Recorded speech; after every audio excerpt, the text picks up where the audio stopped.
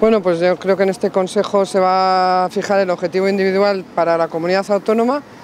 Yo espero que sea igual para todas, como ha sido en los últimos años, y que se exija un, igual esfuerzo para todas las comunidades autónomas.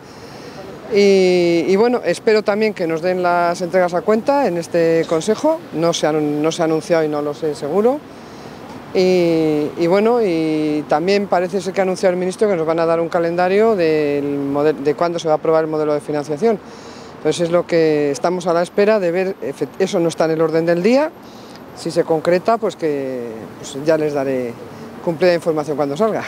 ¿El objetivo de déficit va a ser diferente para cada comunidad autónoma, no? No, no, no, no, yo entiendo que tiene que ser el mismo, entiendo que tiene que ser el mismo, porque llevamos ya años que, salvo una excepción que hubo, los objetivos de déficit eh, tienen que ser iguales para todas, puesto que para todas nos supone un sacrificio y un esfuerzo el llegar a, ese, al cumplir esos objetivos de déficit.